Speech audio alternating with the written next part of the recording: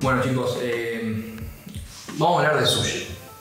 Yo sé comer sushi, comí mucho sushi en mi vida, tengo la suerte. Me imagino. Te invité a vos porque sé que estás más autorizado para hablar que yo. Ya estás, tipo, se nota, ¿no? La, la- la pinta de, de Sushi Man. Eh, quiero primero que la gente te conozca, quiero ¿Quién sos? Bueno, mi nombre es Damián Gisu para los que no me conocen. Me dedico a hacer sushi desde que tengo 19, 20 años, tengo 43. Todo el mundo me dice que parezco más joven, yo no sé. Pero bueno, me dedico desde, desde esa época, hace hace muchos años que me dedico a hacer sushi. He trabajado desde el sushi tradicional y he trabajado hasta el sushi fusión, digamos. ¿Qué es, a ver, ¿qué es, qué es eso? ¿Qué es sushi tradicional y qué es sushi fusión? Bueno, en el auge del sushi fusión, nosotros lo que vamos a hacer hoy es el sushi tradicional. ¿Cuáles son las diferencias y las características? A ver, el sushi fusión, básicamente en realidad el sushi fusión es, podríamos decir lo que sería cualquier sushi que se haga en otro país con ingredientes de otro país. ¿Sí? O sea, es japonés fusionado Sí. con otra cultura. Exacto, con otra cultura. Entonces, lo que está en auge hoy por hoy, mucha gente conoce, es el sushi fusión Nikkei peruano-japonés. Ujú. ¿sí?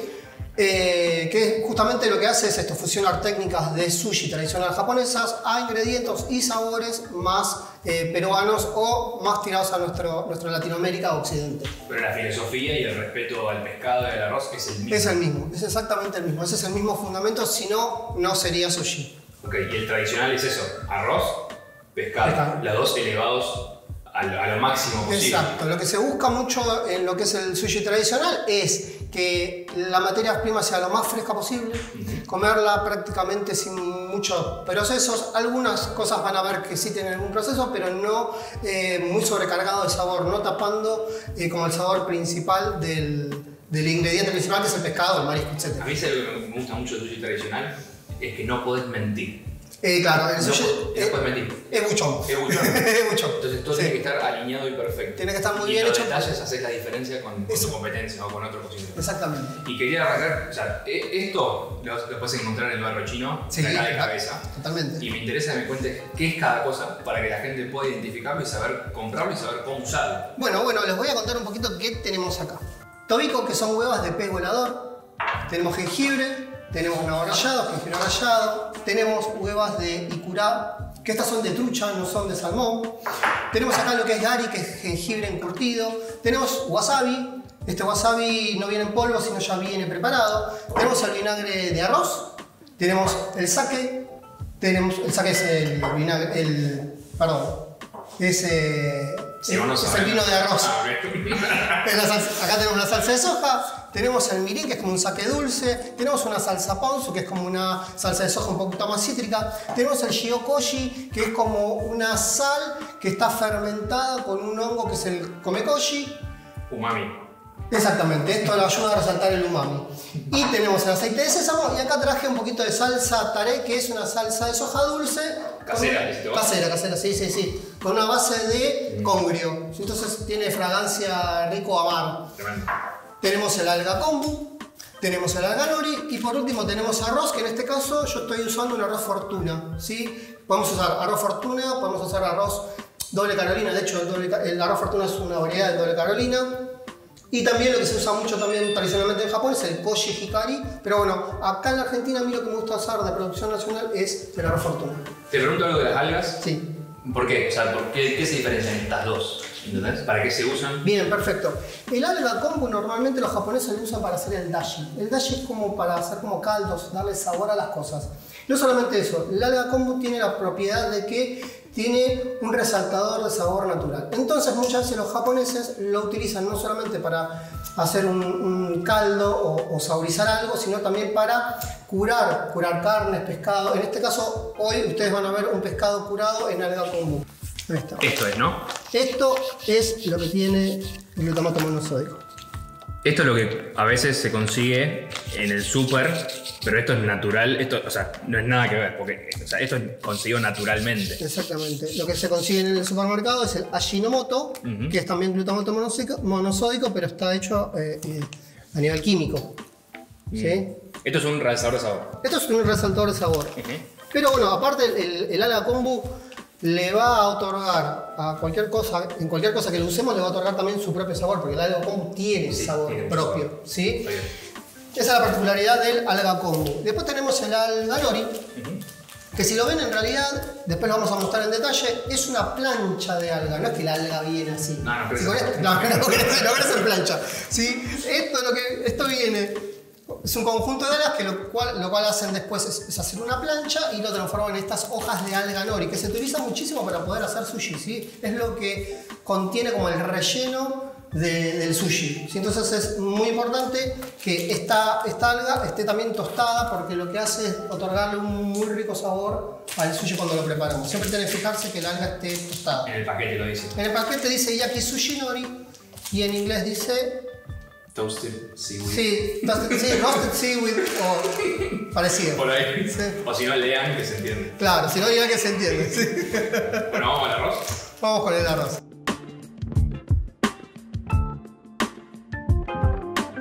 Aderezo para sushi. Quiero saber qué es el aderezo para sushi. Bueno, el aderezo para sushi es lo que te va a terminar de darle el sabor a nuestro arroz de sushi. Como yo les dije, cuando uno hace una pasta, el arroz sería la pasta y eh, la salsa vendría a ser el vinagre de sushi que estamos haciendo nosotros ahora.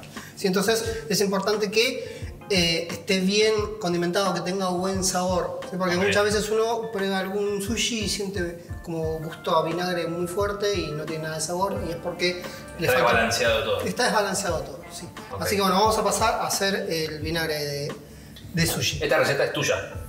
Esta receta es mía, es la que yo uso. Esto, esto es personal ya de, de cada uno, ¿no? Esto es personal de cada uno, eh, exacto.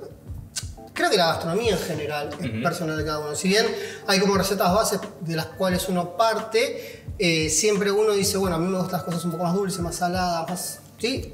más crocante, más... Pero hay un aderezo tipo emblema, así que está definido o no hay. No, no hay un aderezo Ah, emblema que esté definido, la verdad que no. De hecho, eh, acá en la Argentina la mayor parte de las veces lo que se usa es eh, vinagre de alcohol, no vinagre de arroz. Ah, ¿sí? Yo en este caso estoy haciéndolo con vinagre de arroz, pero en general se usa muchísimo el vinagre de, de alcohol.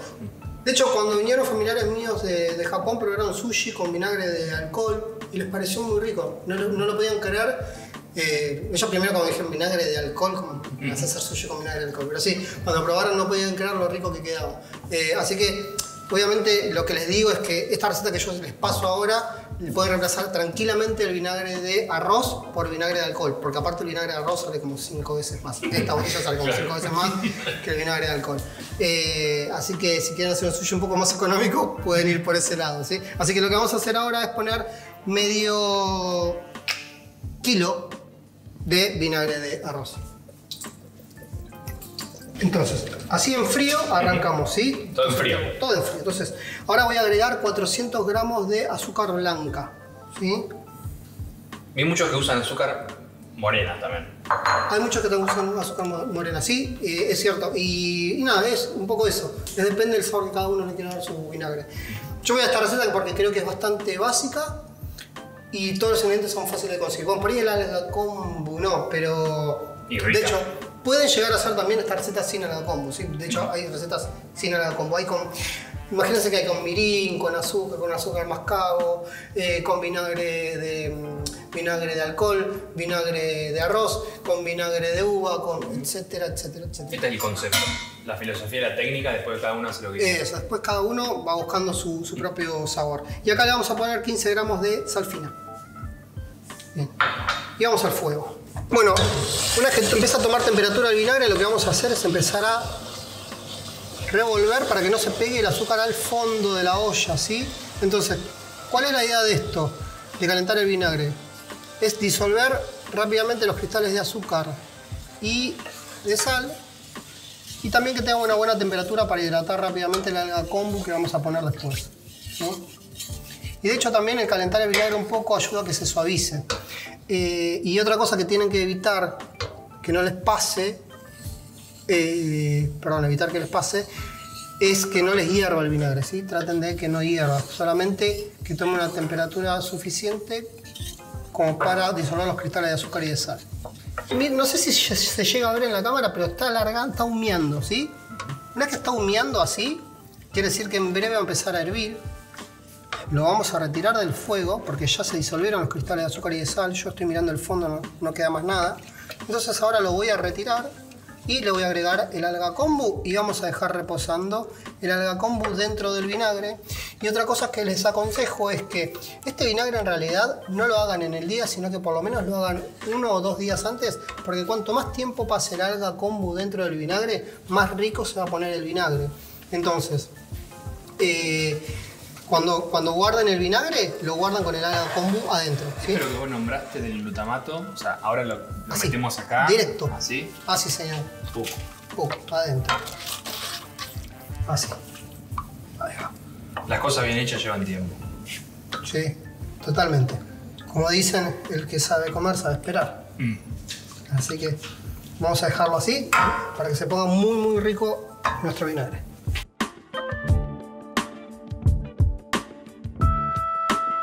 Ok, sushi, por definición, su y shi, ¿no? ¿Qué, Su. qué es eso?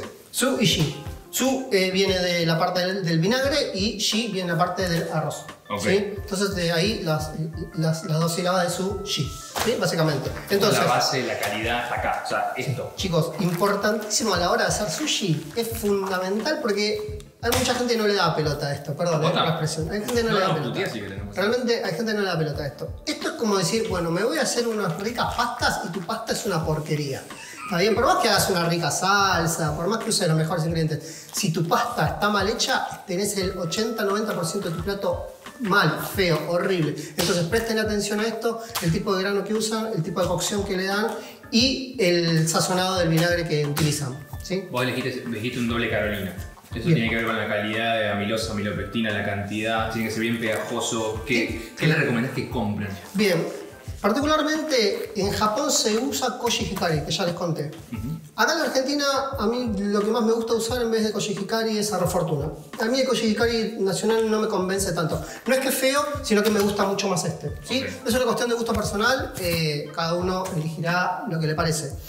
Sí es importante que el arroz sea como esto, ¿no? Como que esté medio glutinoso, como que se pegue, es súper importante. Como cuando era chico me decían, che, vos que comes arroz con palito, ¿cómo haces para comer? Se te caen todos. Porque lo que no saben es que nuestro arroz se pega todo. Entonces Claro. yo agarro bloques de arroz, por eso lo puedo comer.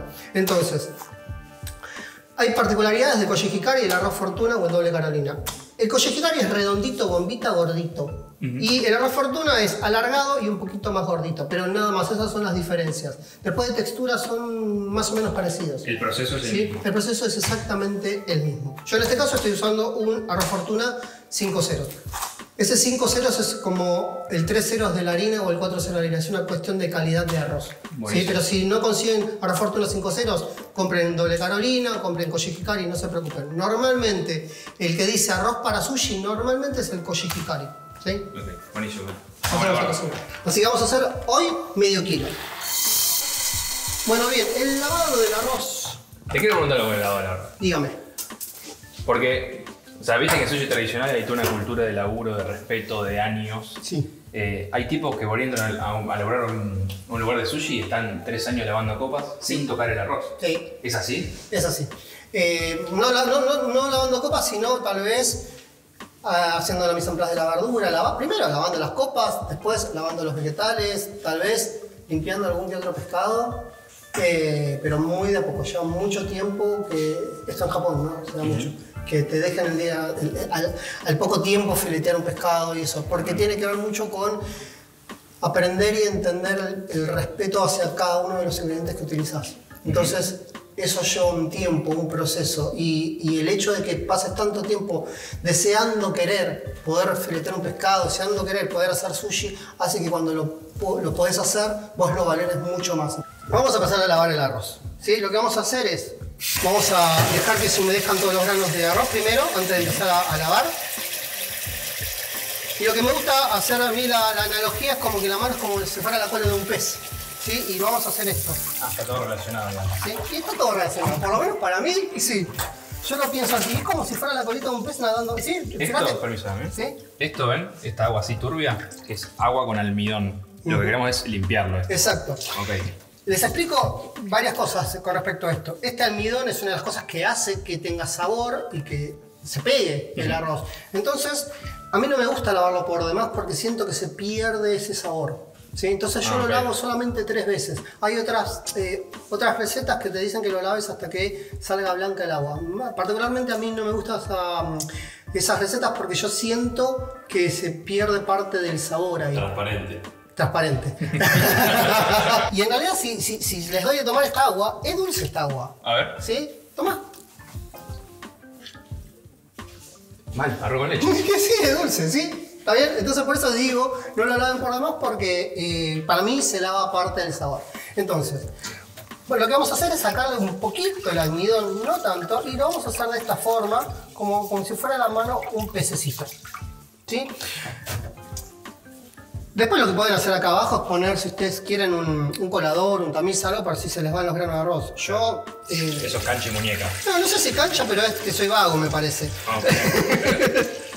O No, que yo te- hago eso, ¿Sí? termina la mitad de la olla. Claro, ahí. ¿entendés? Bien. Ahí vamos de vuelta. Ahí. Listo. Entonces repetimos este proceso tres veces. Agua fría, ¿no? Agua fría, sí. Una pregunta, ¿hasta Sí. dónde de agua? Para Ah. lavar. Bien. Porque ves que. Tenés que cubrir un poquito más. Un poquito más de la mano, así. Ahí. Ajá. Como para cocinarlo. Ahí. ¿Es esa técnica de japonesa? ¿viste? No, yo no utilizo esa técnica. ¿Ah, no? No, no utilizo. Ahora les voy a mostrar qué técnica uso. Ah, listo, listo. Esa técnica no la utilizo yo porque creo que a veces tiene que ver un poco con el tamaño de tu mano y esas cosas. Entonces, eh, por ahí es más preciso que que pongas la misma. Si pusiste, no sé, un kilo de arroz, pongas un litro de agua. ¿Sí? Parte igual. Partes iguales. Ah, bonito. Lo que nos va a asegurar eso es que el arroz básicamente no nos salga crudo. Después viene una, una segunda etapa que uno empieza a aprender si el grano de arroz quedó más húmedo o más seco. Entonces le agrega más agua o le saca agua. ¿Sí? Pero eso es otra etapa Sí, sí. que ya requiere mucho Faltan más, de- pasos. más experiencia, claro. Entonces lo que, lo que les estoy enseñando es una receta básica que nos va a asegurar que el arroz crudo no esté. Bueno, ahora les voy a mostrar algunas cosas que sí pueden hacer que el, el arroz quede crudo, pero después se los explico. Bueno, entonces, como les dije, vamos a poner partes iguales de agua y de arroz. Si pusimos un kilo de arroz, le ponemos un litro de agua. Yo acá puse medio kilo de arroz, vamos a poner medio litro de agua, ¿sí? ¿Te puedo confesar algo? Dime. Yo peso el agua, no la mido por mililitros. Eh, yo también la ¿Vos peso. también? Sí, Ah, ok. yo también la peso. Así que 500 gramos. Exacto, entonces va a ser 500 gramos. Por eso en este momento estamos haciendo esto de pesarla. La tradicional dice que más o menos vos pones la mano y te, te tendría que llegar más o menos a cubrir por acá. La segunda falange. La segunda franja, más o menos. Dice que es así. Yo esa técnica no la uso. Yo uso esta. Balance. Esta me, res- me resulta más fácil. Y la balanza es universal, la mano no. Claro, la balanza es universal, la mano no. Entonces yo pienso que a veces si, pues tal vez si vos pones la mano, te, fíjate que te va a cubrir. A mí, mira, yo tengo los dedos más chiquitos que vos. Fíjate que a vos no te va a llegar ni, no sé, ni, ni a cubrir las uñas. Claro. Mal, de verdad, una Por eso yo no uso esa técnica. ¿Sí? Bueno, y ahora vamos a, dejarlo reposar durante aproximadamente unos 15 minutos y después lo vamos a poner a, a cocinar. ¿Qué hace el, qué hace el reposo? O sea, que El reposo lo que hace es que absorba eh, humedad pareja a todo el grano de arroz y se cocine parejo. ¿Sí? Ah, para eso. Mira qué pelo. Sí. 15 minutos. 15 minutos sin fuego, ¿eh? Listo. Bueno, entonces ya pasaron estos minutos de reposo. Habíamos dicho unos 15 minutos. Pueden ser entre 10 y 15 minutos. ¿Cómo saben? Miren un poquito el grano de arroz, acérquense. Y fíjense que los granos de arroz se pusieron blancos, se inflaron un poquito. Entonces, eso ya en esos 10-15 minutos que pasaron, tomaron la, humedad suficiente como para que se cocinen parejo. Yo acá me estoy dando cuenta que le falta un pelito de agua. ¿Por qué me estoy dando, que- dando cuenta de eso? Fíjense que está casi al ras el agua. ¿sí? Y en este caso yo me estoy dando cuenta de que cuando está así al ras, el, el arroz está muy al ras con el agua, le falta un pelito de agua. Ahora le voy a agregar. Ahí. Fíjense que no mucho más, ¿eh? No mucho más, no exageren porque si no les va a quedar pasado, les va a quedar como, como un puré de papa. Ahí va. Y ahora, así, lo vamos a llevar al fuego aproximadamente. ¿Por qué digo aproximadamente aclaro esto? Porque todo depende muchísimo del el poder calórico que tenga nuestra cocina, depende de la olla que usemos. Si yo uso una olla de aluminio, una olla, uso una olla eh, triple fondo, uso una de esas ollas, puse la marca S, ya la dije, claro. etcétera, nuestro tiempo de cocción va a cambiar, seguramente cambia, ¿sí? Entonces, son 10 minutos aproximadamente. ¿Cómo nos vamos a ir dando cuenta de eso? Que nos mande ese en un par de ollas ahora. Ahora sí, claro, obvio. Para los dos. Bueno, entonces, eh, nos vamos a ir dando cuenta un poco. Una es el aroma, no lo van a poder sentir ustedes obviamente. Y la otra es un poco cómo empieza a jugar la tapa como si fuera un volcán en erupción. Y vamos a entender que, eh, eh, en qué momento empieza como a hervir el arroz y en qué momento para hacer ese, ese, ese hervor. Y más o menos ahí quiere decir que el arroz quedó medio cocido, que le falta un poquito más. Acá si ven, ¿sí? está como un volcán en erupción, ya rompió el borde, no se asusten, no levanten la tapa acá, ¿sí? tienen que lograr que esto se reduzca y pare. Cuando para, ahí sí pueden levantar la tapa y mirar cómo está el arroz. Y ahí, de, ese, de ese punto, le vamos a dar una pequeña cocción más. Pero acá no levanten nunca la tapa, acá hay mucho vapor de cocción y si levantan en este punto les puede quedar crudo el arroz. Bueno, acá más o menos ya pasaron unos 8 minutos aproximadamente. Sí, ven que ya el vapor, si bien sale, está mucho más tranquilo, no es un volcán en erupción. ¿sí? Entonces ahora lo que vamos a esperar es que termine de salir esta cantidad de vapor eh, en esta intensidad y le vamos a dar un poquito de cocción a fuego lento. Bueno, ahora ya está un poco más tranquilo el vapor, así que ahora lo que voy a hacer es darle 5 minutos de cocción a fuego bajo. ¿sí? Ahí está. En 5 minutos nos vemos. Y acá por arte de magia aparece listo nuestro arroz. ¿sí? ¿Qué voy a hacer ahora? Lo voy a mezclar un poco. ¿sí? Sea, lo de arriba hacia abajo, sin raspar mucho el fondo, para no agarrar la parte quemada. Así. Y lo voy a dejar repasar acá unos 10 minutos más, para que agarre una humedad pareja a todos los granos de arroz, los de arriba y los de abajo. Listo, entonces, ahora, mirá, qué pinta, ¿eh? Ya reposó, están todos los granos bien hidratados. Hermoso. ¿Sí? Ustedes no sienten el, el aroma ahora, pero se siente como un olorcito tostado, ¿no, Potro? Sí. Entonces ahora lo que vamos a hacer es, si tienen un hangiri como este, ¿Un qué? hangiri, Ok. ¿sí? Hangiri o que también pueden escuchar ese nombre, ¿sí? Lo que van a hacer es mojarlo previamente. ¿Por qué? Porque si no lo mojan eh, se va a chupar todo el vinagre, ¿sí? Ah. Entonces esto tiene que chuparse el exceso, pero se tiene que chupar todo el vinagre. Bien, punto dos, súper importante que el arroz lo saquen recontra caliente. ¿sí? No lo dejen reposar mucho más tiempo. ¿Por qué? Porque los poros del grano de arroz ahora están dilatados y va a absorber mucho más el vinagre, va a quedar mucho más sabroso. ¿sí? Entonces hay que hacer ese trabajo en caliente, no, no lo hagan en frío. Entonces ahora vamos a ir pasando el arroz de esta forma. Y yo no voy a raspar mucho el fondo porque se hizo una costra como si fuera el socarrá, pero en este caso en el sushi no queda rico, porque aparte quedan los granos duros y cuando estén comiendo un rol, un nigiri les va a molestar, se les va a quedar entre las muelas, Claro. básicamente. Pero esa costra es deseada en el sentido en la cocción, o sea, es algo inevitable. Es inevitable, pasa, a veces se genera más, se genera menos, depende cuánto, cuánto calor le haya pegado y cuánto tiempo, pero tiene que pasar, no es que no pasa. No se asusten si les pasa esto. En realidad se van a, tener, se van a asustar en el momento que tengan que lavar esta olla. ¿Sí? En remojo, una hora. Más o menos, una noche entera.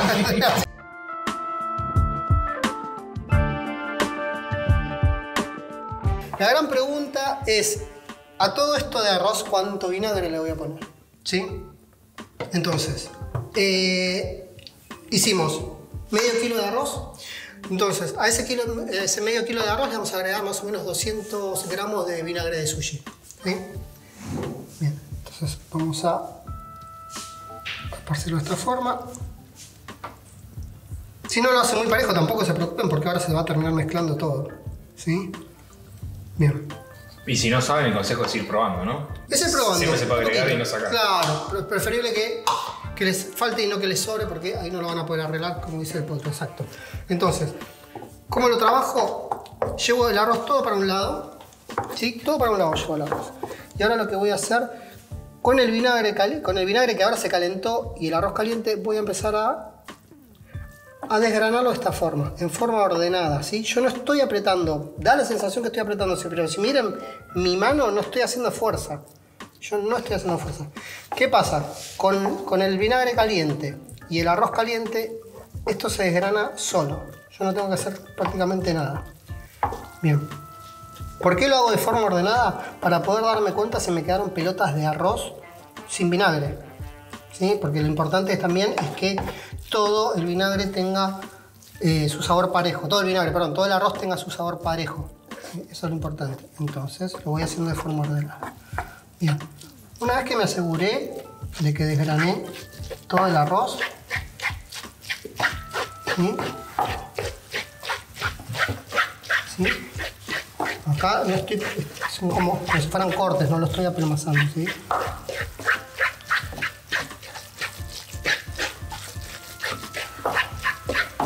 La forma.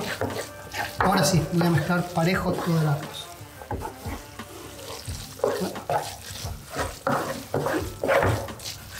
Listo. Lo vamos a dejar así. Y lo voy a ir dando vuelta. Cada 15-20 minutos lo voy a ir dando vuelta para que se vaya secando parejo. Porque si no se me hace toda una costra seca arriba y abajo me va a quedar todo húmedo.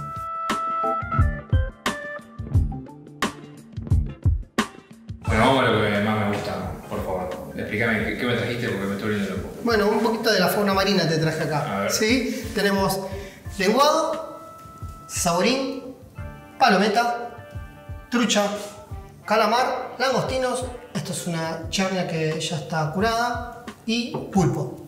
Eso es lo que vamos a degustar hoy. Vamos a mostrar el proceso de fileteo y cómo se prepara el pescado para hacer los rolls, los nigiris y todo lo demás. Exacto. Yo vi muchos videos de, de sushiman japoneses que van al mercado de pescado a las 4 de la mañana, Sí. lo eligen, Exacto. hacen el ikejime, Ujú. lo- o sea, todo perfecto. Sí. Datos o tips para la- conseguir un pescado fresco. Bien, bueno, si bien yo no me fui a las 4 de la mañana, fue un poco más tarde, pero fui a buscar el pescado personalmente. Cosas básicas que tienen que tener para, para saber si el pescado está fresco o no está fresco es la primera que seguramente todo el mundo sabe es mirar las agallas. Y si pueden mirar acá, fíjense el color que tienen estas agallas. ¿Sí? Bien bordó, bien fuerte. Esto realmente la gente no lo ve porque ya los pescaderos o la pescadería se lo sacó. Claro, ya se las, pesca- las pesquerías muchas veces se lo sacan, hacen algunas trampitas, digamos, ¿sí? Eh, esto te puedo asegurar de que eh, es uno de los tantos tips que tenés que tener para saber si el pescado está fresco. Ojo al piojo, ¿por qué? Hay algunos pescados que tienen las agallas más claritas. Las tienen rosadas, no bordo como estas. Entonces no quiere decir que están mal esos pescados, sino que las agallas son claritas. Se van a dar cuenta cuando el pescado está mal porque la agalla está como desteñida, se pone medio marrón. No sé si vos viste Ah, alguna vez. sí, sí, sí. Sí, se pone medio marrón. Ya la- está- Sí, bueno, ya empieza a tener olor. La- la y las moscas alrededor. Acá quiero decir algo. Acá no hay olor a pescado. No, No. o sea, no hay olor a pescado, no, no hay olor a pescadería. Eso también es la frescura, ¿no? Eso es parte de la frescura. Eso es importante que sepan que eh, no tiene que haber olor a pescado. No tiene que sentirse olor a pescado fuerte tipo Mar del Plata. ¿sí? Eso es importante. Segundo, segundo tip. ¿sí? Tal vez ustedes no conocen este pescado desde, desde antes, pero cuando uno mira el pescado ve todo el matiz de colores de la piel. ¿Se ve? Todo el matiz de colores. Sí, hermoso. ¿sí? Es como si estuviera recién sacado, ¿sí? Brillante. Brillante, Vivo. fresco, vivo, ¿sí? Eso es importante también, que se fijen eso en la piel. Otra cosa es los ojos. Fíjense que el ojo está como si estuviera, no está hundido, no está todo blanco, sino se pone como con cataratas el pescado. ¿Está bien? Este tiene particularmente los ojos grandes. De hecho, es muy, muy bonito. No se llama bonito, pero se llama saborín. Pero muy bonito este pescado. Hermoso. Bien, y otra cosa importante es el tema de la carne, ¿sí? La carne del pescado, igual que la carne del ser humano, fíjense, si yo toco mi carne, vuelve rápidamente a su lugar, ¿sí? En el caso del pescado que está muerto no va a pasar exactamente lo mismo, pero algo muy similar. Si yo toco, tengo que, tiene que volver a su lugar. Relativamente rápido, ¿sí? ¿Ven? Yo toco y vuelve. Toco y vuelve. Si ustedes ven que el dedo le quedó hundido, es porque ese pescado no está tan fresco, ¿sí? Eso les da, la, les da la pauta de que todavía la estructura de la carne se conserva bastante bien después del tiempo que fue muerto el pescado. Entonces, quiere decir eso, que no, no pasó mucho tiempo de eso. ¿sí? Así que bueno, ahora les muestro cómo vamos a filetear este saborín. Arrancamos entonces, entonces desviscerando el saborín. Entonces entramos desde el ano, ¿sí? está el ano, ¿sí? metemos la punta del cuchillo para romper todas las vísceras y vamos hasta la aleta, ahí. ¿sí? Bien, ahora lo que voy a hacer es marcar la cabeza por acá, así, ahí, y voy a girar. Y entro ahora por acá. Ahí va. Ahí va. ¿Sí? Y acá no voy a cortar todas las vísceras, no voy a cortar así el pescado. Lo que voy a hacer es cortar el espinazo solamente. Ahí va. Ahí corté. Y ahora arrastro todo y saco todas las vísceras juntas. Ahí. A la basura. Cortar un poco con papel. Limpiarlo así con papel. Y ahora paso a el fileteado. Lo que voy a hacer antes es pasar un poquito el cuchillo como si fuera un sacaje. ¿Sí? Porque tiene unas escamas muy chiquititas, muy finitas. No hace falta que usen un desescamador. ¿Sí? Son unas escamas muy, muy, muy chiquititas. Eso lo que voy a hacer es así. Para después poder pasar el cuchillo y que no me moleste. ¿Sí?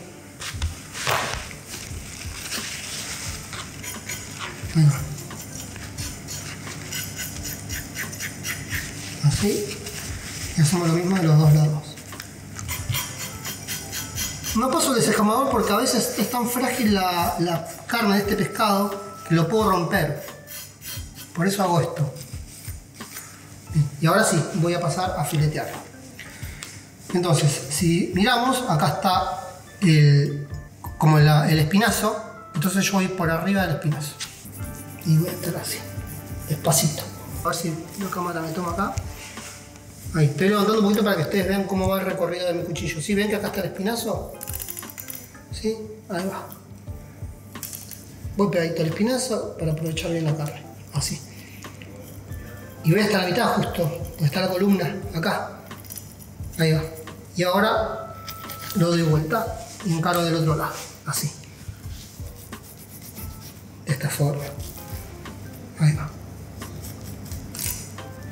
Acá me pasé un poquito, no pasa nada. Corregí. Ahí va. Corto los huesos. Ahí va. Primer filete. Bien. Bueno, y ahora vamos por el segundo filete. Entonces, aprovecho que ya me había quedado marcado del otro lado y entra por acá. Así. ¿Sí? De vuelta. Hago lo mismo. Fíjense que yo cuando fileteo esta parte del pescado ahora, esta cara del pescado, le doy mucho ángulo al cuchillo porque no tengo nada de este lado. Está chato ahora el pescado. Entonces, si no le doy mucho ángulo al cuchillo, desperdicio un montón de carne. Entonces tengo que darle mucho ángulo para aprovechar toda esa carne.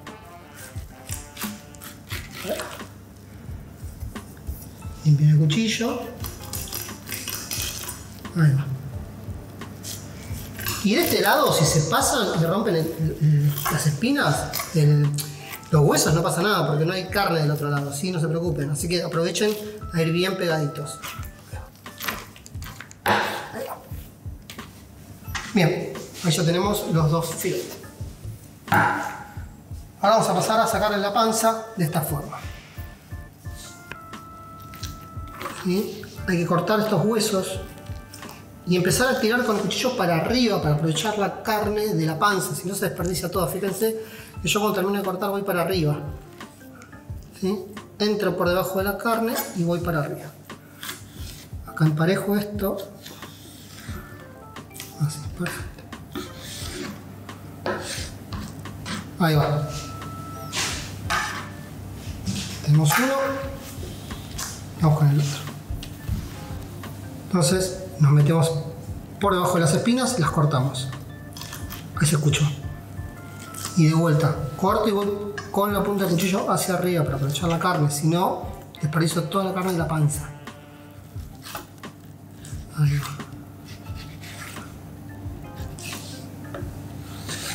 Y ahí tenemos los dos filetes de saborín. Bueno, ¿qué voy a hacer ahora con el saborín? Le vamos a sacar las espinas y mientras que le saco las espinas les cuento, uno de estos filets de saborín, lo que vamos a hacer es eh, ponerlo a, a- lo vamos a curar acá en el vinagre de sushi que habíamos hecho. Vamos, agregué alga kombu y le agregué salsa de soja. Cuando cuesta sacar las espinas es porque el pescado está muy muy fresco, por eso cuesta sacar las espinas, está muy agarrada a la carne, ¿sí? Así que ahí van a ver que voy a estar luchando con este muchacho un ratito. Ahí va. Eh, voy a probar de vuelta a sacar las espinas haciendo un truquito. Le voy a poner sal ahora.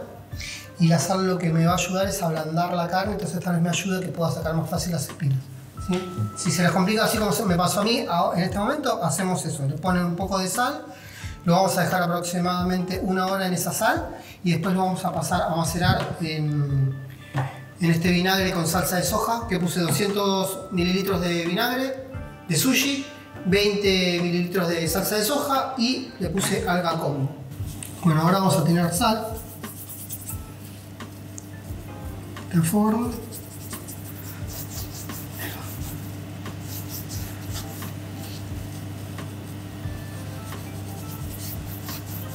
Ahí va. Y así lo vamos a dejar entonces una hora.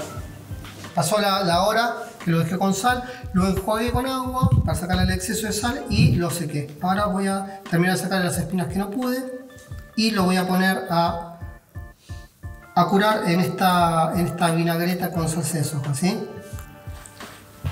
Buscamos que el alga kombu toque la carne, ¿sí? entonces lo voy a poner de esta forma. Así. El umami acá va a estar a flor de piel. Y vamos a hacer esto.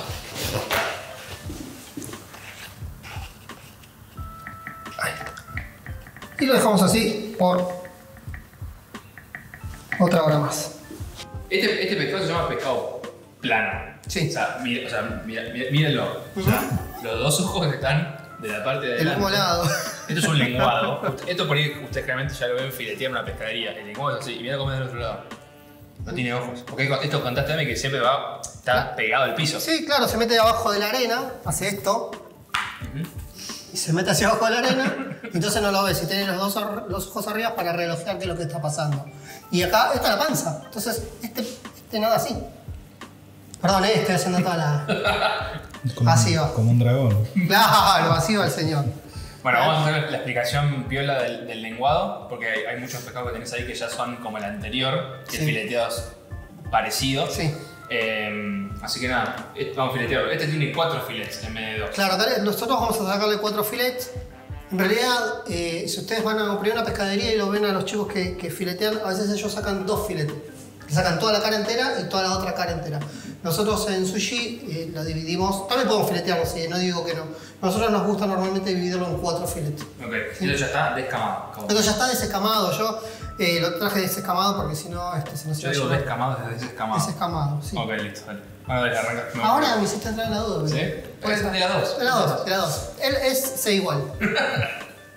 Bien, entonces, arrancamos diferente al otro. Yo en este caso no tengo como el otro todo el, trayecto desde el ano hasta la panza, porque la panza del lenguado es esto nada más.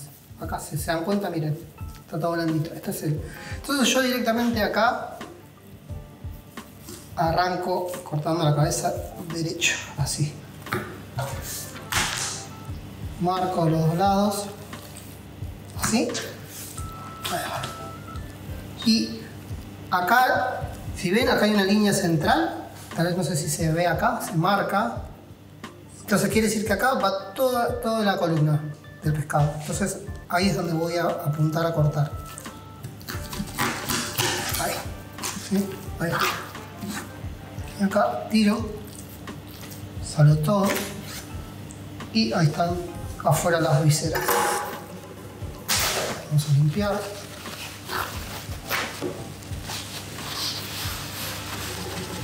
Yo sé que están disfrutando esta parte en sus casas. Eh, Es hermosa esta parte. Bueno, bien, y acá voy a hacer lo siguiente. Esto es lo más lindo. Estoy sacando las huevas. Ahí está. Esto lo voy a sacar. Eh, esto se puede comer, ¿sí? Esto lo pasamos por harina y lo, lo pasamos por sal, harina y lo freímos. Pero ahora no lo vamos a comer. ¿Vamos a arrancar de cualquiera de los dos lados? Sí. Normalmente a mí me gusta arrancar más de este lado. ¿Por qué? Porque este lado es el que tiene menos carne. ¿Sí? Entonces, si yo arranco de este que tiene más carne, después me queda totalmente plano el pescado. Entonces después me va a costar mucho más poder aprovechar la carne de este lado. ¿Sí? Entonces prefiero yo aprovechar esta parte primero que tiene poca carne y que quede plano para después aprovechar esta, que si de última dejé un poquito de carne en el esqueleto, no desperdicie tanto.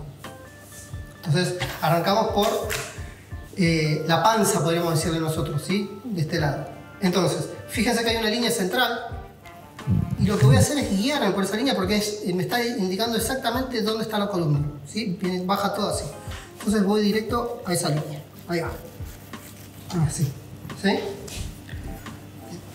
Y ahora lo que voy a hacer es empezar a separar los dos filetes. Un lado y del otro. Bien pegadito a los huesos para no desperdiciar carne. Ahí se escucha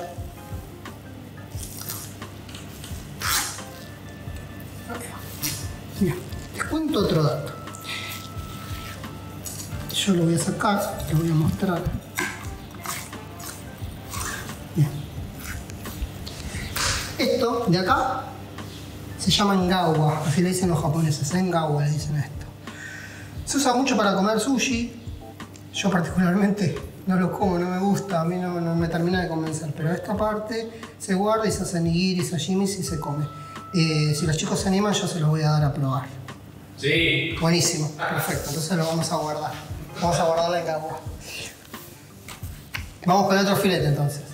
Ahora mucho más fácil porque ya no tengo este filete, entonces puedo entrar mucho más plano. ¿Sí? Ahí. Así. ¿Sí? Saco la panza, la membrana de la panza, la saco y dejo filete. Bueno, y ahora vamos a la otra parte, que es la parte que más carne tiene. Y lo mismo, yo, no sé si la cámara ve, pero yo veo acá la línea central. Igual me la sé de memoria, pero yo veo la línea central, así que voy a ir por, por ahí, ir por la línea central y voy a marcar. Bien. Una vez que marcamos la línea central, a mí me gusta entrar de este lado, así, pero pueden entrar también así, es indistinto. Es una cuestión de comodidad, de costumbre. Bueno, entonces, meto el cuchillo un poquito en diagonal para marcar, y ahí se escucha. Estoy marcando, estoy yendo por la columna, y a poco me voy a ir metiendo. De esta forma.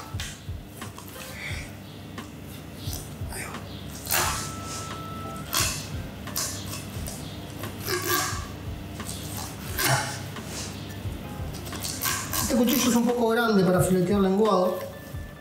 Mucha gente usa uno más chiquito porque ayuda a aprovechar mejor la, carne. Me acostumbré a este que es grandote. Y ahora vamos de este lado. Acá cortan porque hay unos huesos. Ahí se escuchó.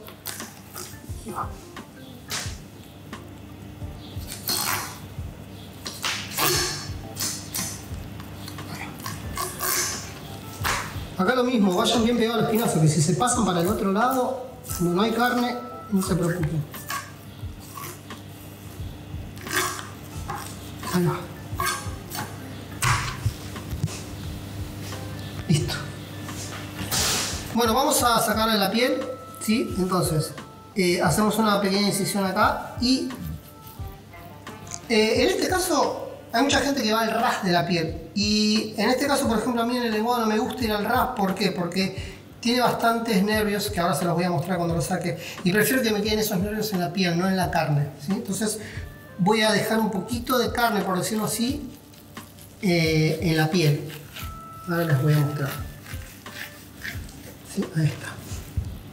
Entonces, si ven el filet, quedó blanquito, blanquito, y acá quedaron todos los nervios, miren. No pasa nada, es una cuestión de gustos. A mí no, me gusta cómo, cómo se sienten esos nervios en la boca, entonces yo no los saco tan al ras. ¿sí? Pero estos son todos como eh, partes de nervios. Ahí se ve. Bien. Y ahora lo que hago es, vamos a sacar la engagua, que los chicos quieren comerla. Acá me queda un poquito de nervio. lo voy a limpiar. Como toda carne, ¿no? Como la carne de, vaca también uno lo que hace es sacarle los nervios. ¿Por qué? Porque te quedan entre los dientes y no los puedes masticar bien. Entonces, así dejamos el filet prolijito para presentar. Les voy a mostrar una técnica que se llama suke, que es un marinado del pescado. En este caso vamos a usar el lenguado, que lo vamos a dejar marinándose en salsa de soja, mirin, ¿sí? salsa de soja, mirin y sake. En este caso le puse 100 centímetros cubitos, Cubitos, sin cubitos. 100 cubitos, 100 centímetros cúbicos de salsa de soja, 100 centímetros cúbicos de mirin y 50 centímetros cúbicos de sake. Así que esta es la mezcla y la vamos a agregar acá.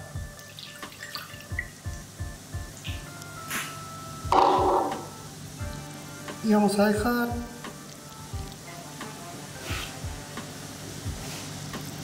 estos lenguados que se marinen acá. Eso, por el, por el lapso de una horita. ¿sí? Esto cuando yo les digo una hora, a veces si les gusta con más intensidad de sabor lo dejan dos horas, si no lo dejan media hora. Esto lo pueden ir graduando, graduando ustedes, igual que como hice con el saborín. Si les gusta más avinagrado o menos avinagrado, lo dejan más o menos tiempo. Vamos a preparar ahora para los chicos, entonces, esta pata de pulpo. Esto es un pulpo español y lo que vamos a hacer es un pequeño truquito para que no se nos enrosque, que es lo que normalmente pasa, y es muy simple. Pasar un palito de brochet, pasar un palito de brochet, por el centro de la pata, fíjense que es por el centro de la pata, no por los costados ni por arriba, siempre por el centro, hasta llegar a pincharlo cubriendo la totalidad del brochet. ¿sí? Ahí. Ahí. ¿Por qué lo, lo hice así? Porque ahora van a ver que cuando lo cocine se va a achicar el pulpo. Entonces, por eso lo hice desaparecer el brochet dentro de la pata de pulpo. Ahora cuando lo meta en el agua se va a encoger y va a aparecer el palito de brochet. Y acá corto esto que me está sobrando. Y en un ratito les muestro cuando lo vayamos a cocinar. Bueno, Potro, entonces, ahora lo que vamos a hacer es preparar el agua para la cocción del pulpo, ¿sí? Ok, dale. Estás tentada. No, me- Ah. esto. ¿Por qué? Bien, Porque vamos a usar unos saquitos de té, ¿sí? Esto ayuda a reforzar el color del pulpo. Y por eso vamos a usar estos saquitos de té. Pero si no tienen saquito de té, no pasa nada. Yo lo que le voy a poner al agua es lo siguiente. Ahí estamos poniendo a calentar el agua. Vamos a ponerle nabo. Vamos a ponerle eh, el 15% de sal gruesa de lo que le puse de agua. Por ejemplo, acá yo puse 2 litros de agua, entonces acá hay eh, 30 gramos de sal, de sal gruesa. Y le vamos a poner los dos saquitos de té y vamos a esperar que entre en ebullición y después vamos a cocinar la pata de pulpo acá adentro. Bueno, ahora que el agua está en ebullición, voy a poner la pata de pulpo y la voy a dejar seguramente esta pata mínimo unos 20 minutos. Eh, la cocción del pulpo para el sushi lo que prioriza principalmente es... ¿Cómo contrae? ¿Sí? Claro, ¿viste? Bien, entonces, lo que prioriza el, eh, se prioriza en el sushi es el sabor más que la textura. Queda. ¿sí? Queda- puede quedar un poquito más firme, pero eh, eso es lo que hace que uno le dé una cocción más corta para que eh, conserve mucho más el sabor. Entonces en sushi normalmente se busca eso. Que, está bien que esté blandito, pero no hace falta que esté como un pulpo a la, a la- a la española, digamos. Claro. ¿sí? Eh, tiene que estar firme y que conserve lo más posible el sabor. Así que yo calculo que en unos 20 minutos, 20 minutos esto estará. Buenísimo. Bueno, acá si se fijan está muy fuerte el agua, lo que tengo que hacer yo es bajarle un poquito el fuego porque si sigue con esta intensidad se va a salir toda la piel, entonces le voy a bajar un poquito el fuego.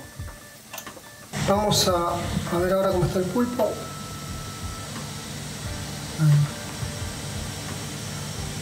Ahí está entrando mucho más. Ahí está el pulpito, ya está listo. Y fíjense que la piel quedó entera, ¿sí? Esta es la idea, la cocción.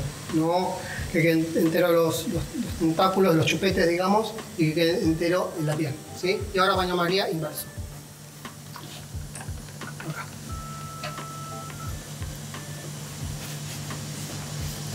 Vamos a arrancar con los langostinos, ¿sí? Ya todo el mundo vio más o menos cómo se limpia el langostino. Los vamos a hacer dos formas. Uno, por un lado lo vamos a hacer crudos y por el otro lado vamos a hacer unos cocidos. ¿sí? Entonces los primeros que voy a hacer son los cocidos. Que los voy a mostrar cómo se hacen. agarran un palito de brochet y lo que van a hacer es pasarlo por acá abajo, donde están las patas, ¿sí? Desde el lado interno de la carne, por donde están, van las patas, así. Ahí.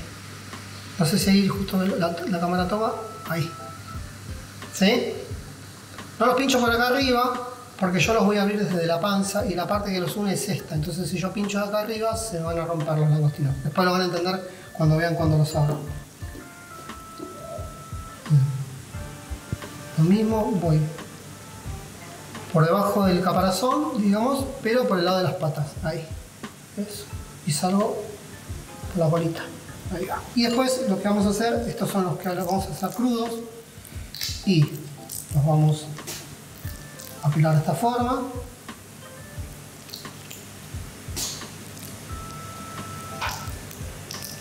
Está pipado ese. Sí, está. Le faltó tibia. Ahí le vamos a sacar un pedacito de cola.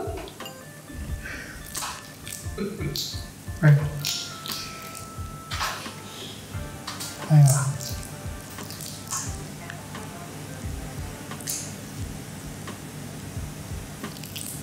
Va. Y ahora lo que vamos a hacer es sacarle justamente la La caca. La caca. Corto por acá. Y tiramos así. Estas no son las cacas, estas son las huevas. Aparte de las cacas. O sea, La caca. y huevos. Y huevos, sí. Sí. Estamos por acá. Retiramos esto y después lo voy a llevar a lavar. ¿Querés que saque la caca de ahí para que no se vea? Pues como televisión verdad, 100%. Un caca con todo. Bueno, pusimos el agua para eh, los langostinos con un puñadito de sal gruesa y ahora vamos a tirar los langostinos que habíamos pinchado antes acá. Más o menos la cocción son dos minutos y medio, tres minutos. Yo normalmente lo hago un poco a ojo y ¿qué es lo que, qué es lo que hago? Cuando empiezan a flotar los langostinos, de ahí cuento unos 10 segundos y ahí los retiro. Pero si no, pueden tomarse el tiempo que sean dos minutos y medio, tres. En el caso que sean unos langostinos tan grandes como estos, les aconsejo que por ahí sean tres minutos más que dos minutos y medio. Bueno, estos langostinos ya están, ahora los voy a retirar. Eso es un baño maría inverso a mí, ¿no? Eso es un baño maría O sea, agua con hielo. Agua con maría. le corta la cocción. Tuc. Eso. Al toque. Ahí va. No fallar, decía Tuzán. ¿Te acuerdas de Susana? Tuzán. Qué bomba. Ahí va. Ahí está. En el agua. Frío. Ahí está, sí. Tendría que haber buscado algo más grande, pero bueno, ahí va. Estamos en casa también. Ahí va. Se enfríen. Bueno, le llegó el turno al calamar, así que vamos a, a limpiar este lindo calamar. ¿Sí? Y vamos a sacar esto de esta forma. Así.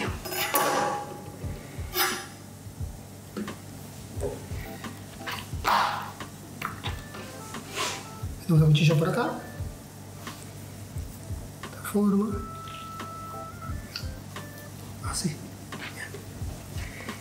Vamos a sacar esta parte. Y acá lo que vamos a hacer es. Esto es toda, digamos, como la panza, los intestinos, que vamos a sacar de a poquito con el cuchillo. Así.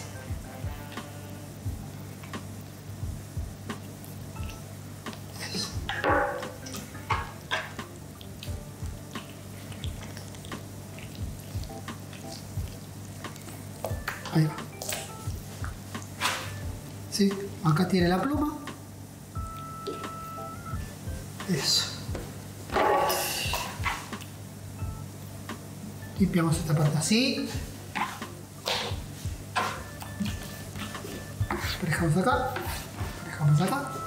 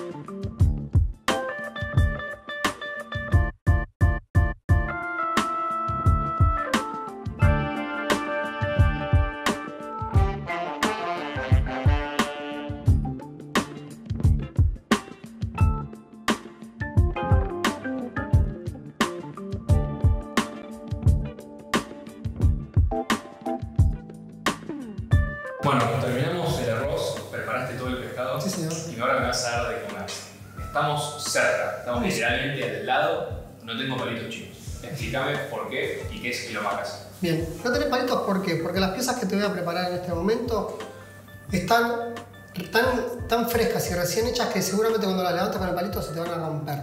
Entonces te, te recomiendo que las comas con la mano. Normalmente en Japón, en los lugares de omakase, los nigiris, que es lo que te voy a preparar ahora, se comen directamente con la mano. Ok. Sí, así que no es una falta de educación ni nada. Comé tranquilo, Ok. con la mano, que es lo mejor que hay. Es comer como, como comer un pollo. Ok. ¿sí? Con la mano. Importante que lo puedas disfrutar de esa forma. Y el término makase un poco significa como confiar, ¿sí? Vos vas a confiar en mí en lo que yo te voy a ofrecer. Ese, eh, esa va a ser nuestra relación en la noche de hoy. Vos confías en mí y yo voy a brindar lo mejor de mí para, para que vos eh, te vayas contento y, Confío agra- y agasajarte. Confío en- Dale, por favor.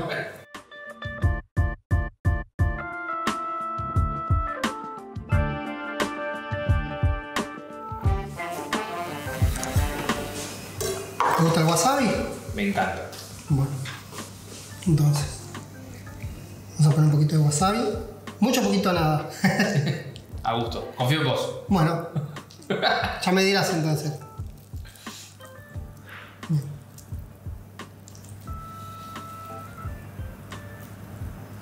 Lo que voy a hacer ahora es pintar tu nigiri primero Ujú. con shiokoshi, que es esta sal fermentada que va a potenciar el umami de esta pieza. Mm. Y segundo, te lo voy a pintar con salsa de soja. Mira qué belleza. Y así lo agarro. Así lo agarro. Apenas, apenas pisa, agarro y a la boca. Y a la boca, sin que tome temperatura, de esa forma. Te voy a hacer para. ¿eh? Me gustó el punto wasabi. Me gusta picandón. Qué bueno, buenísimo. Bueno, excelente. Tremendo. Arrancamos bien. Arrancamos bien. Seguimos. El jengibre.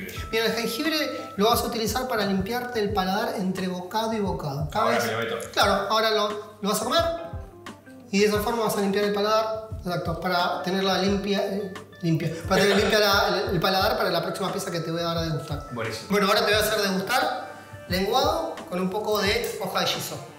Ok.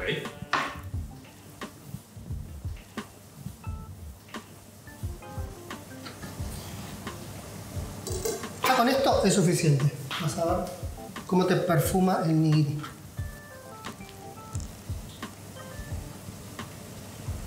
Entonces de wasabi me dijiste que estaba bien. Sí, sí. Me gusta picantón, eh. Perfecto. Este yo te conté que tiene un poco de wasabi de verdad, este wasabi. Sí, sí. Se nota. ¿sí? El wasabi Acá. puro, digamos, no, no del polvo. Oído, oído. Uh, para mí es fachero que quedó en la hoja. Sí, muy bien. ¿Se le suele hablar al, al sushi Claro que sí. Ah, ok. Pues yo, por ahí hablo. Sí, totalmente. Podemos charlar un montón. Y de hecho, a veces el comensal le invita a tomar algo, le invita una- un trago de cerveza o algo y toman juntos en la barra. Muy lindo, lindo.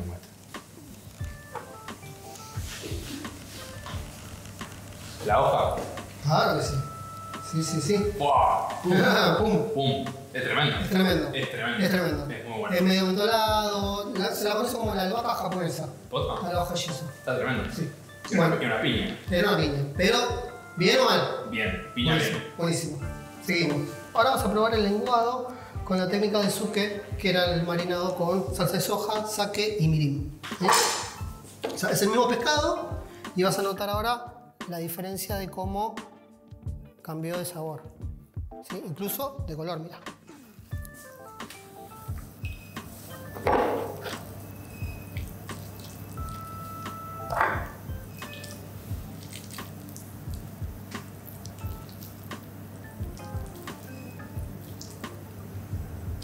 Bien. Ahora le vamos a poner un poquito de jengibre. ¿Te gusta el jengibre? Me encanta. Un poquito de jengibre. Un poquito de cebollita de verdeo. Le va a dar una fragancia. Estas dos cosas, una gran fragancia. Una- Tremendo.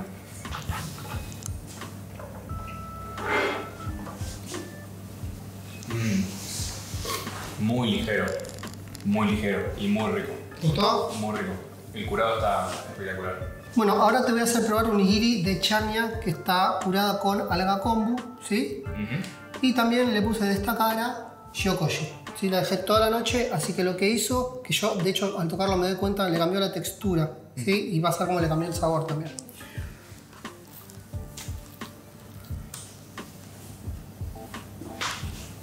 Esta charnia está increíble. Es un pescado de carne firme, pero también al haberle hecho este, este tratamiento, esta hace que la piel, la, la- la carne esté un poquito más ligera. ¿sí?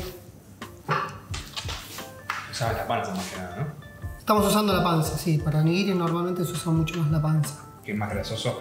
Es más grasosa y, y se estira, eh, que también por las vetas se rompe menos para hacer nigiri. Ah, ok. Entonces por eso usamos la parte de la panza. Bien. Algo que tiene muy lindo la charne es el color, ¿ves? Sí, es hermoso. Un color precioso.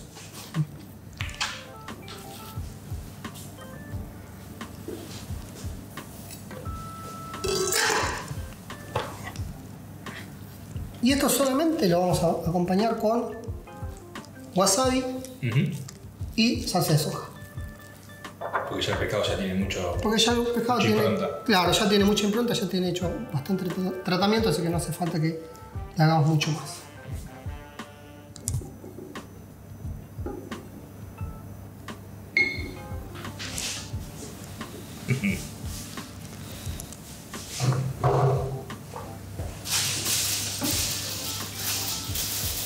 Espectacular. Otra textura de pescado. Otra textura de Más, pescado, más, más firmón, más firme. pero me encanta. Sí, Se siente la grasa. se siente la grasa y tiene muy buena presencia de sabor, ¿viste? Muy bueno, muy rico.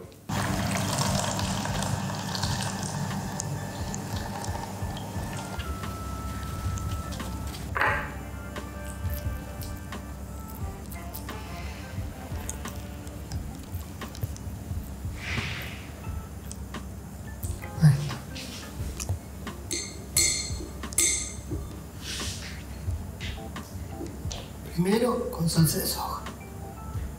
Así. Y un poquito de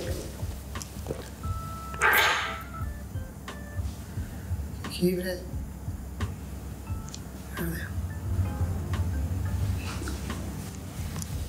Así una, ¿eh? Así de duro.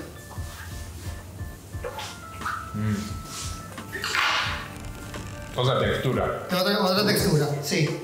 Porque cuando uno se siente en una omakase es un poco entender de que va a pasar por diferentes tipos de sabores y texturas. Eso es lo, lo importante. Es como, la partitura de una, una canción, ¿no? Un álbum de música. Exacto. Entonces este, hay momentos en que está más fuerte la música, más bajita, tiene más intensidad o no. Así Tiene es, un- es hay un hilo, tiene un sentido todo. Eso. En este lo que voy a hacer es flambearlo. ¿sí? Vamos a, a pasar por fuego directamente. A ver qué te parece. Dale. Ahí va.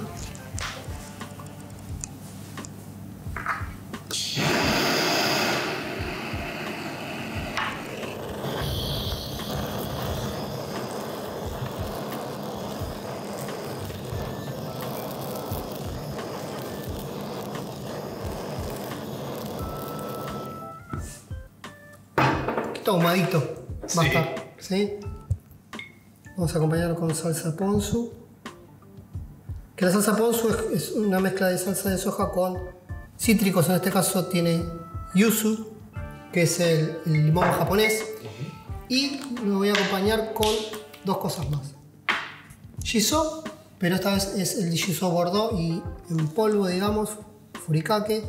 Y cáscara de yuzu, ¿sí? haciendo juego, digamos, con lo que venimos.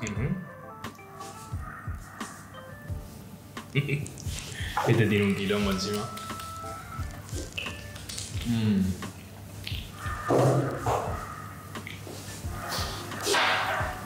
La textura es muy parecida a la anterior. Sí, El picante del wasabi está buenísimo y es muy ahumado. muy ahumado. Y me gusta. ¿Te? Buenísimo. Se queda en la boca un rato. Se queda en la boca un rato y, mm, y lo que te hace eh, el, el yuzu y el, y el shiso te ayuda como a potenciar todo eso, Sí, sí. Es, es una piña, apenas entra, es así. Sí, Totalmente. Mm, muy bueno. Bueno, ahora vamos con la palometa. Me dijiste que de mar nunca comiste. No, comí la de río. Ok. De hecho, en, un- en mi último video la pesqué, la cociné y la comí. Pero palometa de mar, Palometa de mar, jamás. jamás. Entonces, voy a tener el honor de que es- por primera vez. Sí. Bueno, esperemos que te guste. Ojalá, ojalá. Yo creo, yo dudo que no. Yo creo que sí, yo creo que sí.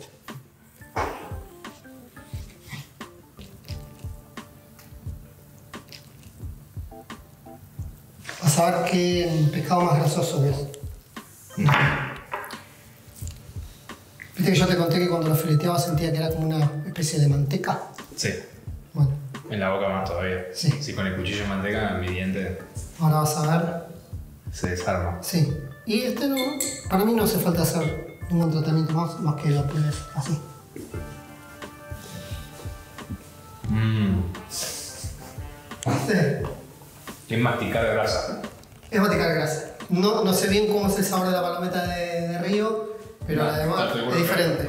No es. Es diferente, es diferente. Mm. De los más ricos, ¿eh? De lo más rico. A mí me gusta muchísimo la palometa. Sí, muy bueno, muy bueno. Pasamos al siguiente entonces. Bueno, ahora vas a probar, ya que te animas a probar todo, Sí. vas a probar langostino crudo. No sé si alguna vez comiste. Ah, no. ¿No? Bueno. No, no, no. Entonces de vuelta yo voy a tener el honor de que pruebes por primera vez algo que no probaste antes. ¿sí? Y lo que vamos a hacer con este langostino aparte es coronarlos con huevas de tobico. ¿Sabes qué el tobico? No. Las huevas de tobico son las huevas del pez volador.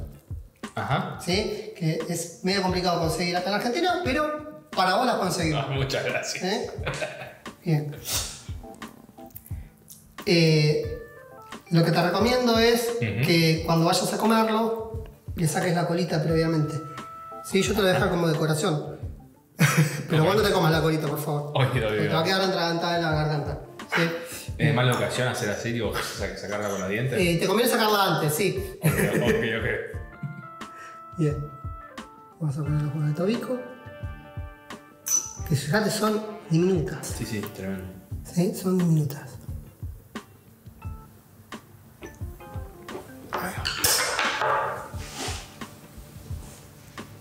Y esto, mejor que lo mojes vos con salsa de soja, Ok. a tu gusto. Le arranco la cola. Arranca de la colita. Ahí, tú. Eso. Yo siempre tengo entendido que esto hay que torcerlo Sí. y siempre se moja el pescado de marisco y no, el arroz. Y no el arroz. Y en ese caso, cuando es así, eso. Cuando es así, lo que te conviene es mojarlo eso de costado. Mm. ¿Sí? Y no sacar el todo. ¿Tiene gusto la agostino? Sí. Lo que más me gustó son esas huevas. bueno. Están buenísimas. ¿Te sentiste la carne dulce del Sí, langostino? muy dulce. ¿Sí? Muy dulce la textura. El crudo. La esperada, ¿no? Digamos. Sí, era esperada, Es sí. Fibrosa, Es fibrosa. pero muy dulce. Muy, Digamos, muy dulce. Es un nigiri mucho más dulce. Sí, de hecho, la verdad que fuiste bastante valiente. La gente normalmente lo come en dos pasos. Vos lo comiste Ah, en no. uno. Perfecto. Tengo entendido que sí. No, está perfecto, hay que Ah. comerlo de un solo paso, pero muchas veces a la gente le da como cosa comerlo tan. Es el langostino crudo comerlo todo entero, pero perfecto. Bueno, ya que estás con mariscos, continuamos con mariscos, pero esta vuelta vas a comer pulpo cocido, no crudo. Ok, ok. Sí. Ya te lo advierto. ¿Qué te pareció la textura del langostino? Esperada. Esperada. Ya yo lo, lo he manipulado muchas veces para sacarle cosas y es lo que sentí en los dientes. Sí. Pero me impresionó mucho el dulzor, eso le dijiste vos. Sí, Muy dulce la Muy dulce. A mí particularmente eh, me pasa lo mismo, si bien la textura no es algo que, que me encante, me gusta mucho el dulce Ujú. de sentir la carne del langostino así. Yo siempre comí langostino, fue siempre tirado hacia lo salado. Claro, claro, claro. Nunca, la verdad que es muy bueno. Nunca te imaginaste que era así de dulce. No, jamás. Bien. Entonces te vamos a hacer un nigiri de pulpo y lo vamos a pintar con una salsa taré, que esta es como una salsa de soja dulce, pero con base de, en este caso le hice la base de congrio. ¿Sí? Ajá. Mm. Muy fachero este, ¿eh?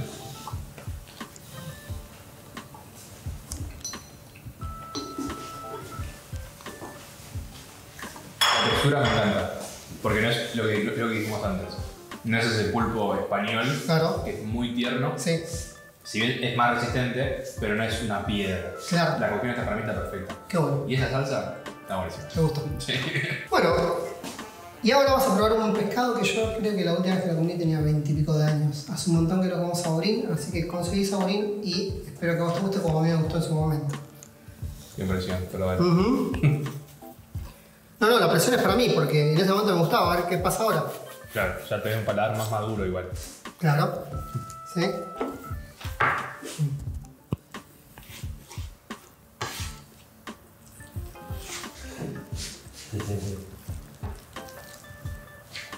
Cuando lo probaste, ¿a qué te recordó? ¿Qué- ¿De qué te acordás? Cuando lo probé ahora de grande, O sea, vos te pensás en este pescado. ¿qué- ¿De qué te acordás? y me, me hace acordar mucho cuando mis primeros años en el sushi, muchísimo. Ujú. Cuando era un, un novato y, y todo, y todo costaba, ¿viste? Todo era difícil. Este, porque bueno, era un poco lo que yo te explicaba, que, que todo realmente te lo, te lo hacen valer, te lo hacen realmente que lo puedas apreciar. O sea, todo cuesta tanto que uno después lo termina apreciando mucho. Y ahora estás cumpliendo el ciclo, porque ahora le estás dando de comer. Ahora estoy dando. Así que Sí, estás sí. cumpliendo un ciclo, digamos. Totalmente. Bien, entonces lo pinté con Shiokoshi y ahora con salsa ponzu.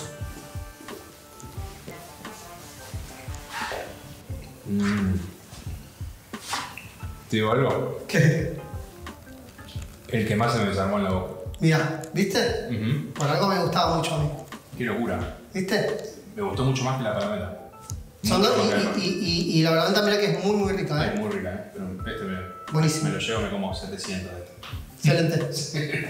Antes probaste el saurín, ¿sí? Vos lo probaste eh, natural, sin ningún tratamiento. Yo en este caso ahora lo que le hice a este saurín es dejar, no sé si se acuerdan, que lo puse en el vinagre de sushi con salsa de soja. Sí. Así que lo vas a probar eh, curado de esta forma. Ok. Bueno, me pongo contento que te gustó, así que No, muy rico, ¿eh? Que, que este te guste un poquito más. Es como acá en este caso, mira cómo quedó la piel. ¿sí?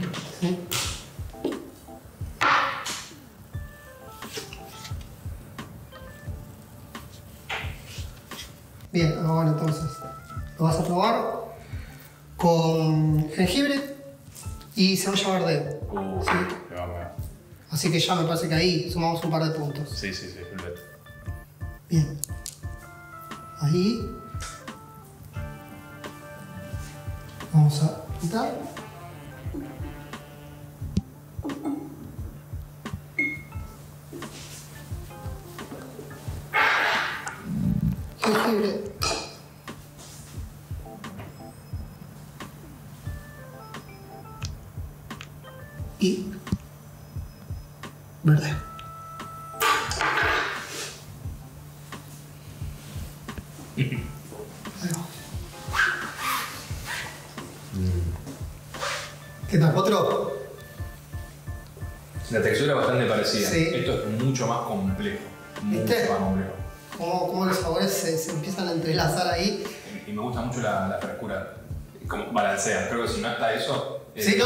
Súper importante en esta técnica que siempre vaya acompañado con jengibre y con verdeo. Se hace esta misma técnica para, por ejemplo, curar la caballa. Cuando compras caballa, la curas así, se llama shime saba, esa técnica. Y siempre se le pone jengibre y verdeo al final. Termina como de sí, redondear. lo necesita. Lo necesita. Si no es muy empalagoso. Sí, exacto. Y bueno, Potro, ya comiste el nigiri de langostino crudo, ahora Por favor. te va a tocar el cocido. Dale, dale. ¿Qué, qué es lo que estás acostumbrado vos? Más salado, Estoy mal con acostumbrado. una textura un poco más firme. Sí. Ajá. Pero lo que tiene que, lo hicimos recién, hace muy poquito, y de hecho no vas a sentir ni frío, va a estar como, como a temperatura ambiente, vas a ver que Ajá. también va a cambiar un montón el sabor. Ok. Quiero recalcar también la importancia ¿no? de la distancia, porque me lo estás dando y lo estoy comiendo. Sí, es inmediato. Es inmediato, no son ni 10 metros. Imagínate cuando van delivery el sushi, Claro, ¿no? claro. O sea, Si bien eh, uno lo puede comer y uno lo elige, uno lo elige como a veces se elige la papa frita en delivery, que no es lo ideal, pero esto sería lo ideal. Ideal. Sí, esto sería lo ideal. sale tu mano y va mi mano y la hago. Exactamente. Y acá poner la cantidad de salsa de soja que vos prefieras. Ok.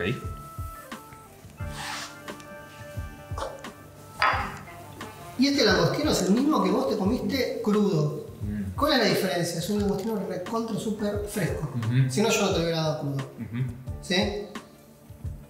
Soy fanático del langostino fresco, Sí. se nota que es fresco y me, es un sabor familiar para mí, Ujú. pero el, el wasabi hace todo. ¿Viste? Sí. Hay, hay un gran trabajo. Y entre Ahí. el wasabi, el arroz, el langostino recién hecho, eso es la, la- idea de la macasa. Que puedas probarlo en su mejor punto. Bueno, Potro, vas a comer ahora bunkan ikura usura. Es un tipo de nigiri que eh, la traducción de bunkan es como acorazado, o sea, acorazado de, ba- de un barco japonés. ¿sí? Ok. De ahí viene inspirado el bunkan. Ahora vas a ver la formita. Y vas a comerlas con huevas de trucha, ikura de trucha y hueva de huevo de codorniz. ¿Sí? ¿Te animás? Sí, ahí pone huevo. Hay que poner huevo, señor. Ahí va. Vamos a. Esto puede fallar, a veces sale bien y a veces sale mal. Bueno, solamente le vamos a dejar la allí. Ahí está. Y no les da impresión en casa, ¿eh? Y pero ya fileteamos un pescado, le sacamos las tripas y esto es la impresión. Se cambian de canal. Claro. ¿Sí? que olvidate. Olvídate. Bueno, bien. Entonces. ¿Qué te pareció los nigiris? ¿La sensación? ¿Están muy apretados? No. ¿Sentiste- ¿Entendiste por qué tenías que comer Sí. con la mano? Sí, definitivamente. ¿Sí? Y te quiero decir algo que no te lo dije, que es el arroz. Me gusta mucho cómo está hecho el arroz. Buenísimo. Siento en la boca cada grano. No es un puré, no es una pasta en la boca. Así que lo siento, gusta, se me desgrana todo y está rico. Buenísimo. Acompaña, y, pero no paca. Acompaña no paga y este, es súper importante porque eso termina de darle la textura final a todo, ¿no? Eso. ¿Sí? Entonces, vamos a buscar así.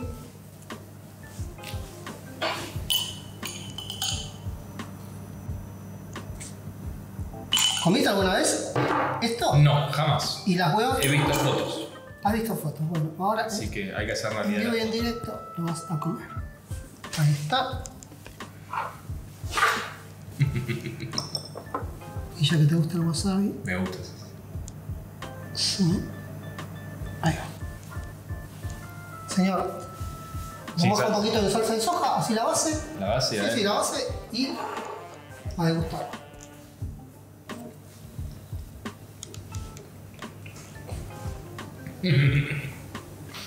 es Ahí te explico por qué me río. bueno, pum, 100 pum, millones de pelotas en la boca. y pa, pa, Eso, pa, pa, pa, pa, y explota pa, la boca. Explotan, explotan. Muy rico. Me gustó bueno. mucho. Bien, Muchísimo. estas huevas están maceradas, ¿sí? Con salsa Tengo de soja. Te explota, te explota, te explota, te explota. ¿Viste que bueno? ¿Sentís el saque? Sí, ¿Sí? Tienen saque, tienen mirin y tienen salsa de soja. sí.